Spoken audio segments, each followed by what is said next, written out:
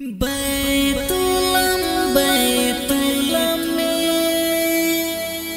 ये सूरज लेला गोहर घर के चरनी में बालक यीशु जन्म